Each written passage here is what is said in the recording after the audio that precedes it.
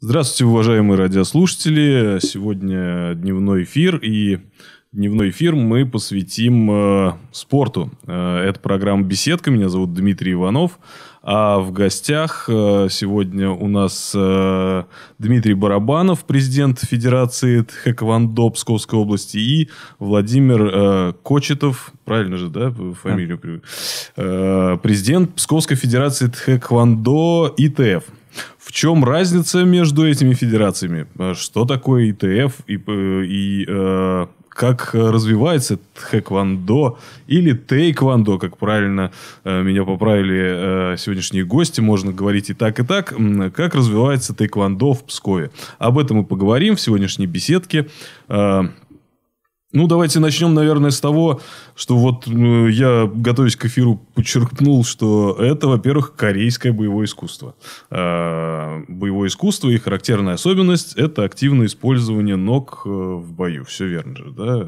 Вот эм, что, что, как развивается э, сейчас это, это искусство боевое, да, это олимпийский вид спорта, насколько я знаю. Вот расскажите. Дмитрий, спасибо, что пригласили.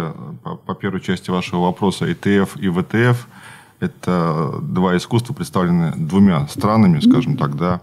А, ИТФ – это боевое искусство тэквондо Северной Кореи, ВТФ – это боевое искусство Южной Кореи. В настоящий момент времени ИТФ не является олимпийским видом спорта, но является видом спорта. А ВТФ является олимпийским видом спорта. У нас сегодня на территории Псковской области представлена и Федерация ВТФ, которую возглавляю я, и Федерация ИТФ, которую возглавляет Володя Кочетов. Что касается вашего вопроса э, ног и рук, то э, и в том виде спорта, и ВТФ, и ВТФ используют удары и руками, и ногами. Но в ВТФ э, основной акцент делается на ноги, а в ИТФ основной акцент делается и на ноги, и на руки. А, насколько я знаю, ну, у вас буквально-таки на днях э, завершились глобальные соревнования. Они проходили в Пскове. Э, это всероссийский турнир на Кубок губернатора Псковской области. И э, ну, сопутствовал ему еще фестиваль Тайквандо ИТФ 13-15 мая проходил. Более 700 спортсменов приехали в наш город. Вот каковы результаты? Ну да, это уже третий по счету всероссийский именно статус, который имеет всероссийского турнира. Мы провели в 2019 году. В 2020 году из-за пандемии он был отменен. То есть и в 2021, и вот в этом году 22 год. То есть это третий турнир. А, да, более 700 человек из 11 регионов а, России. Если в прошлом году сборная Псковской области заняла шестое общекомандное место, в прошлом году регионов было у нас порядка 22 то в этом году мы заняли второе место. Первое – Санкт-Петербург, третье – сборная города Москвы. Э, вот э, удается, как удается собрать, ну, я не знаю, 700 человек это много на соревновании собрать э, вот, в город? Или, или э, масштабы могут быть и больше? 700 человек – это очень большое количество участников. Да, для Пскова это большое. То есть мы можем собрать и больше, мы можем и организовать и чемпионаты первенства России, но все упирается у нас в спортивный зал. То есть Олимп не позволяет нам постелить 6 площадок. Вот, поэтому то есть мы можем взмахнуться на большее. Ну, чтобы было понимание, на период соревнований, именно соревновательного периода, который проходит в течение 3-4 дней, выкупаются практически все гостиницы в городе Пскове. За, не за счет федерации, но гостями и участниками, которые приезжают на соревнования. Потому что, а, как правило, в сопровождении приезжает как минимум один родитель. То есть умножаем это как минимум еще на два, мы получаем примерно а, две с половиной-три тысячи гостей, которые приезжают в наш регион в наш город из других регионов, практически, ну, из большого количества. Владимир сказал, что в том году это было 21 регион, в этом году порядка 15 регионов. То есть мы в данном случае не только занимаемся спортом, но и продвижением нашего региона как э, известности внутри страны. Угу. А, как, каковы соревнования, не знаю, там они как-то делятся на категории, э, правильно же, да, наверное, по весовым категориям или по возрастам? Ну, вообще, то есть турнир э, проходит в трех разделах. А, это спарринги сами, да, бои. Дальше формальный комплекс. Это ну, набор э, движений, которые выполняют без контакта, то есть два спортсмена. И в этом году мы добавили еще одну дисциплину, то есть в Минспорте нам его пропустили. Это самооборона, постановочный спарринг. То есть э, если это мужская, то есть сборная, там то есть на одного героя, скажем так, нападает три соперника. А если это женская сборная, то есть на одну женщину нападает на два плохих человека. Это постановочный такой бой в течение 40 секунд. Э, то есть э, происходит это действие, то есть с оружием, без оружия. Это, это все очень зрелищно. Постановочно это в смысле отрепетировано? Это отрепетировано, да, то есть заранее, да, то есть как бы и на этот турнир к нам приехали, то есть э, спортсмены из Санкт-Петербурга, которые являются неоднократными чемпионами России, Европы и мира, то есть как бы сильная сборная, мы на них равняемся. Но вопрос в постановке выглядит следующим образом. Это не постановка, как в фильме, когда удар имитируется. То есть тут оценивается степень и плотность контакта. Если вам бьют ногой в голову в рамках постановки, то судья должен зафиксировать этот удар, увидеть шлепок, услышать шлепок и почувствовать, что был контакт, ощутить то, что был контакт. А вот, кстати, э, о, скажем так, э, об ударах, да, э, разные виды единоборств, соответственно, имеют разные правила, да, там не наносить там удары ниже пояса и так далее. Вот в тэквондо какие, какой регламент, какие ограничения? Ну да, то есть ниже пояса мы не наносим удары. На руках у нас перчатки боксерские, на ногах футы, шлема. То есть э, ударная поверхность это от пояса и выше. Ну, сам контакт должен быть лайт, легкий. Да, то есть, как бы это основное правило, поэтому за сильные удары, даже такие сильные акцентрированные нокауты, нокдауны, то есть у нас идут наказания. Возможно, это привлекает большое количество для детей, то есть, тем более и девочек, и девушек, потому что контакт такой дозированный, ну, вот, лайт. Да, вот именно о лайт-контакте, дозированном контакте во время соревнований возник вопрос у одного из корреспондентов, э, чем вызвана такая массовость спорта в нашем регионе, именно тэквондо и ТФ. Э, я задумался над этим вопросом и пообщался с родителями. И основной момент, который они обозначили, это именно безопасность малая и, травматичность. и малая травматичность э, именно данного вида спорта, связанная с высокой степенью защиты спортсменов от нанесенных ударов и именно правилам, которые регламентируют силу удара. А если мы говорим о ВТФ, об олимпийском виде спорта, то сила удара должна быть такова, чтобы, во-первых, э, ВТФ не считается, олимпийский вид спорта не считается э, на соревнованиях э, удары судейским составом. Судьи просто его контролируют. Все проходит в электронном виде. А защита и амуниция настраиваются таким образом, чтобы сила удара превосходила бы определенную силу. Если просто прошел удар не с определенной силы в голову, в корпус, он просто не засчитывается. Нужно нанести травмирующий удар и пробить определенную силу, э, нанести э, удар с определенной силой. В противном случае это просто будет незащитно.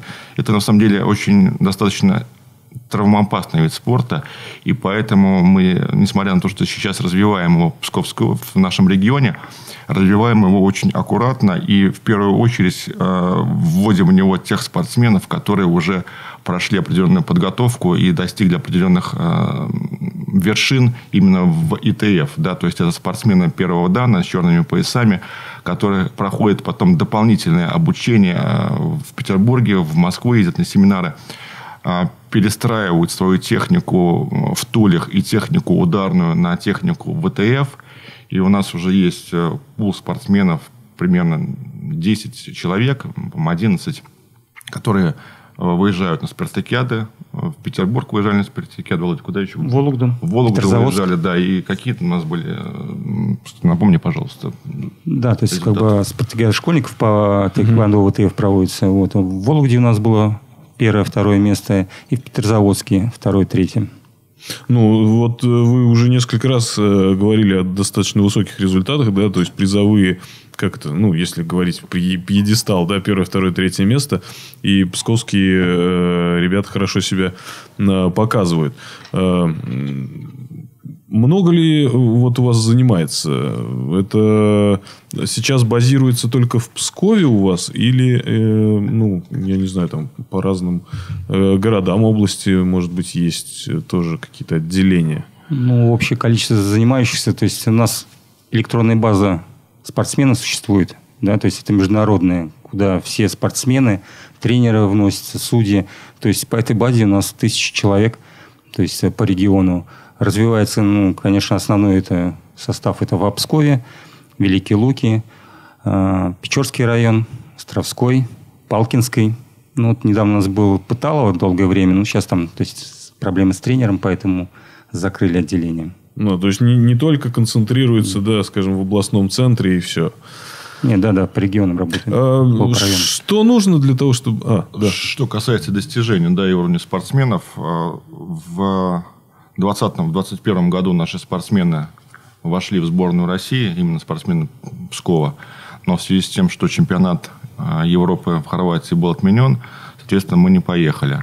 А, в 2019 году, да, Денис? В 2021 году у нас, а, Денис да. Столов, когда у нас в Италию ездил, мы вместе ездили первый В 2019 году. В 2019 да. году, да, наш Володин э, подопечный спортсмен Денис Стволов стал чемпионом Европы в Италии проходили соревнования, вот он занял, стал чемпионом, золотым чемпионом. Mm-hmm. Первое ну, место. Понятно, да, понятно. Да.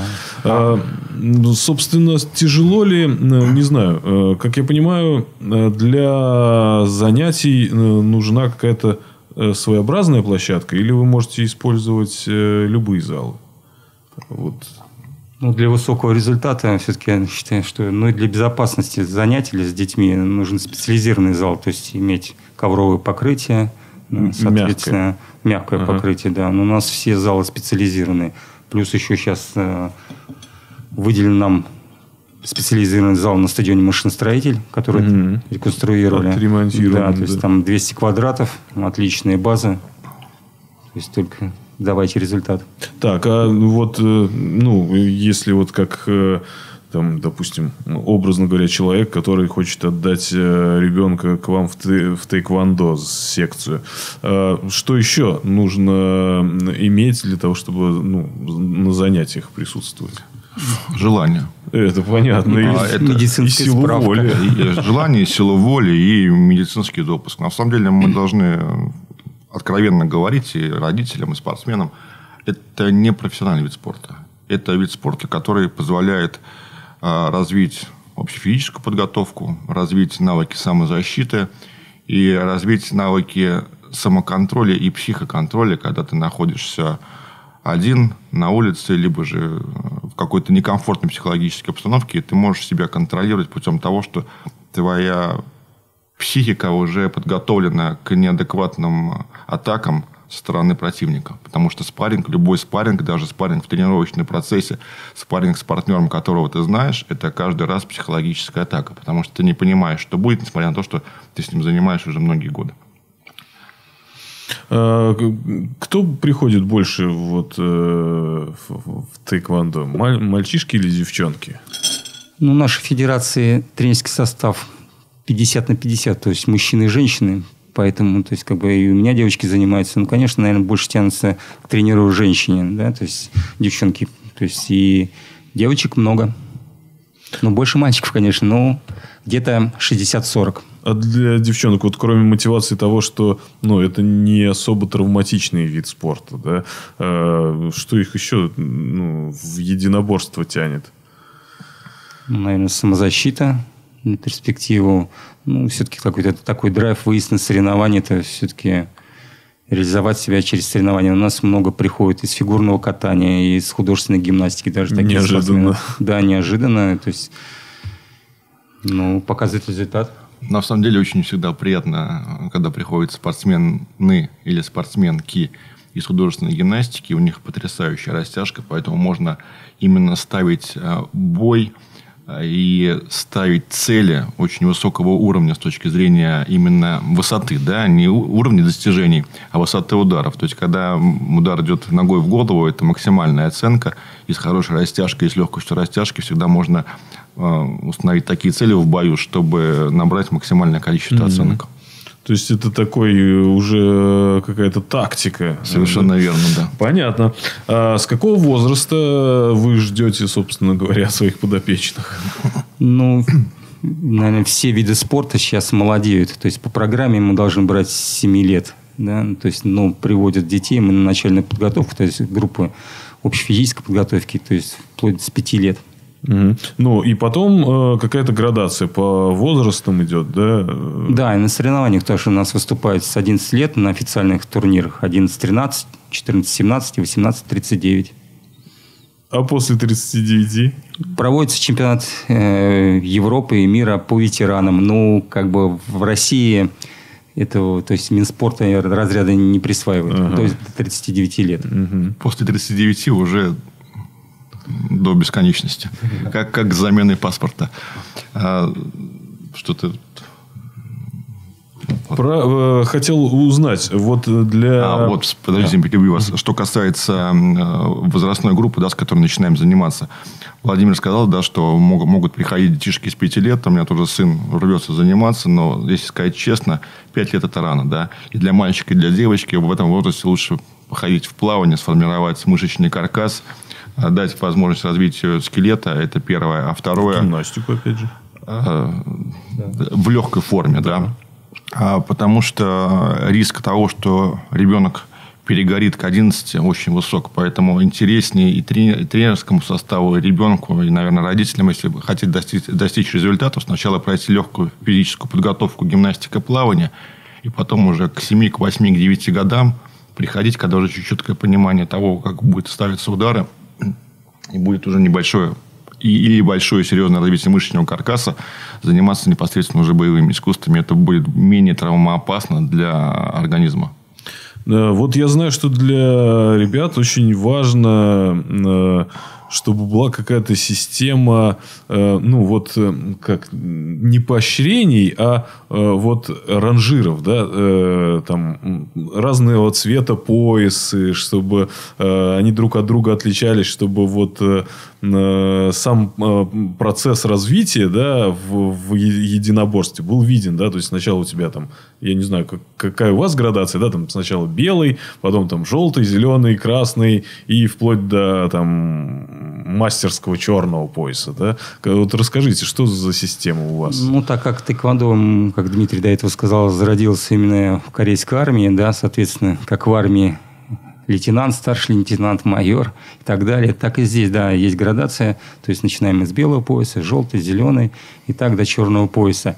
Но опять же, то есть вот это присвоение поясов, оно не подразумевает спортивную составляющую. То есть можно заниматься для здоровья, для себя, для самообороны, да, и получать вот эти пояса, проходить экзамены каждые полгода. Вот. А спортивная составляющая, то есть это присвоение разрядов спортивных и званий, да, то есть которые можно сделать только на, выступая на э, турнирах, то есть которые официально проводятся на территории региона или страны. Э, как привлекаете молодежь вот сейчас? Э, как э, отрываете ребят от гаджетов? Там, вот какие формы вы находите для этого? Вы имеете в виду, как мы это делаем во время тренировочного процесса? Нет, ну вообще, как, как вот зазываете? Вы знаете, на самом деле я... Те, кто приходят, их не нужно отвлекать. А те, кто приходит, они приходят, потому что они, им не нужны эти гаджеты в той форме, в которой, они, в которой они занимаются. А еще как вариант, может быть, именно гаджеты и доступность э, сейчас а, видеороликов и видеопрезентаций в данном виде по этому виду спорта и по другим видам спорта позволяет детям посмотреть и пойти. Это же касается, вот помните, то же самое мы, как мы начали заниматься, да? Коготь тигра, белый ниндзя – фильмы о боевых искусствах, на которых мы выросли, это Брюс Ли. Это же именно там, стиль утки Маргари, Маргаритки, да, боевой стиль.